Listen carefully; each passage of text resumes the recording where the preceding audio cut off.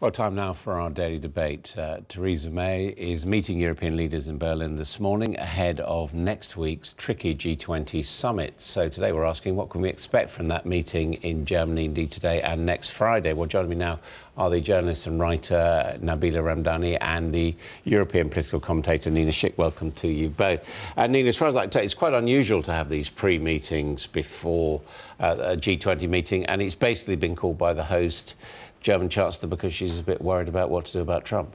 Well, yes, Angela Merkel is very concerned. And when she was addressing the Bundestag this morning, she laid out several things that she wants to fight for in the G20 summit. One is that she said she doesn't believe in isolationism, protectionism turning inward. So, this is, of course, a reference to Trump's America First rhetoric. And second, she said she would put climate change at the heart of those talks. So, what she's hoping to do is present a very united European flank, whilst the transatlantic relationship is suffering since the advent of Trump. Nonetheless, even within the, the European countries, there is a divide, and particularly between the Eastern and Western European countries on the issue of uh, migration and refugees. I mean, there's a new divide opening up, isn't there, Nabila, which is that, as you know, the British have put on ice their invitation to a state visit to Donald Trump.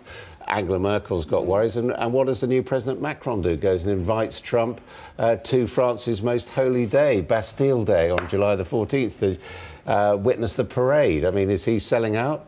Well, you're quite right to highlight the, the, new development. And in fact, I think President Macron is very much aware that he overdid the Trump baiting uh, in Brussels at the G20, uh, G7 uh, summit. And he's now invited Trump for the Bastille Day par parade. And the idea is to unite the two countries and unite the, in honor of the, so he's both kind the of French. Around the back of uh, Chancellor Merkel and indeed uh, uh, Mrs. May. Yeah, I think it, it, the visit might actually be seen as a foreign policy success by the French over the British. As we know, uh, Trump was put off by a visit to the and UK. And over Angela Merkel. And over Angela Merkel as well. So I think... Uh, but I think it, it ties in with uh, President Macron's uh, pragmatic nature. He's very much somebody who wants to get on with everyone and seeks compromise, and that's a, a, a, a way of doing it, in, in, a sense. But Merkel is very pragmatic as well. I mean, in 2014, the US became Germany's most important trading partner, even surpassing France. So she knows that she has to position herself in a very delicate place where the public is very much against Trump for things such as his America First rhetoric, for his position on climate change. But the business community in Germany wants to very much keep those trade links open. So she, whilst has to posture publicly and has been doing so, you know, I think there's been a lot of support for her since the election of Donald Trump because she has been positioning herself. But do you think she would invite Donald Trump to the unification ceremonies? Probably not. Probably not. I don't think. So, in that sense, do you think there is now a, a, bit of a tension between France and Germany on this? I don't think so. I think Merkel and Macron are working very closely together. They know that one of their most important things for their, in the next five years is how to uh, rejuvenate the European Union, what to do with the future of the Eurozone. Paris and Berlin still have many differences on that, but they are united on the fact that in the next five years there will have to be reform in the EU and in the Eurozone. So I, I think. Mean, I mean, Macron became president partly on a populist wave. I mean, I know he's a mainstream person, but he knocked aside all the conventional politicians. And we're beginning to see, aren't we, an element of French nationalism emerging rather than European Union unity. Very much so. I think Macron is at heart an, an old-style French leader in the tradition of Charles de Gaulle, who wanted to push uh, French greatness. And likewise, Macron wants to revive uh, France's reputation in the world, and he will very much be using the G20 summit in an attempt to do so. But he has to reconcile a, a historical sense of aloofness and arrogance, even, with his personal inclination to want to get on with everyone. And uh, French statesmen have historically been very prickly and very difficult indeed to deal with. And we've seen how uh, uh Macron is prepared to stand up to Trump and indeed Putin, but he also wants to be friendly uh, with them. And my view is that President Macron will be will do um, uh, is due a few ugly confrontations with uh, to test his mettle as a politician.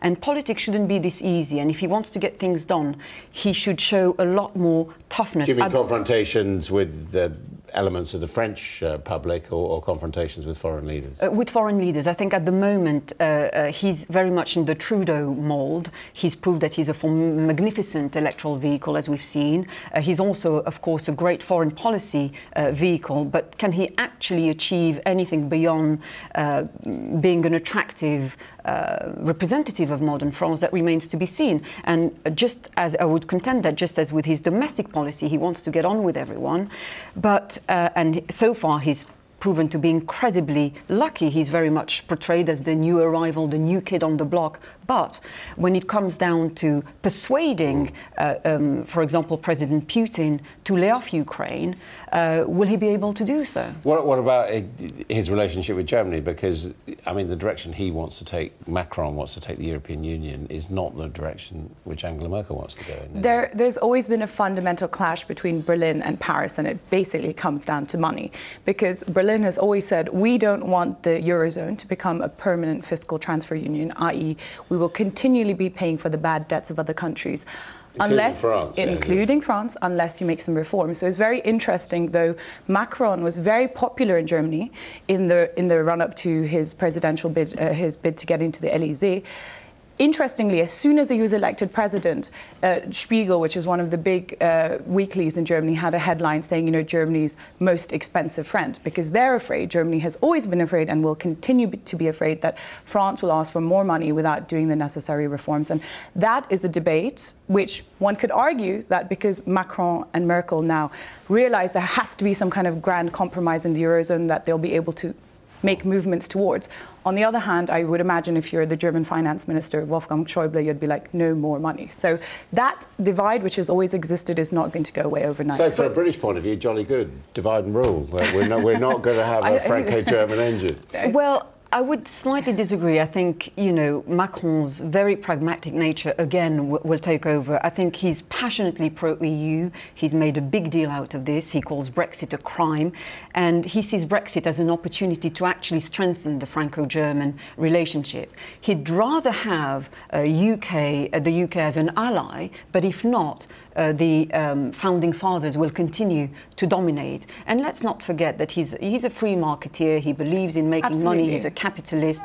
Absolutely. And he has in mind, you know, whatever you think about the, the France's situation domestically, France is, uh, has magnific- is a magnificent exporter nation. So he'll have in mind all those French multinationals who uh, dominate in everything from uh, nuclear power to waste disposal, disposal, and he would want to make sure that uh, those markets uh, will continue yeah. to uh, be guaranteed for those national. Okay, and where does uh, Theresa May fit into all this?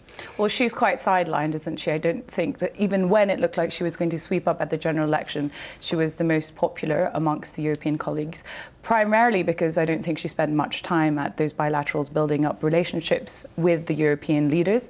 And since the election, I think her hand is very much weakened. So I think European leaders were actually a little bit dismayed at what after the general election because at least if Theresa May had won that huge majority, then they would have been negotiating with somebody who had a strong mandate, as she laid out in her Lancaster House speech. Now they feel we're not certain. What if we spend a lot of political capital negotiating a deal?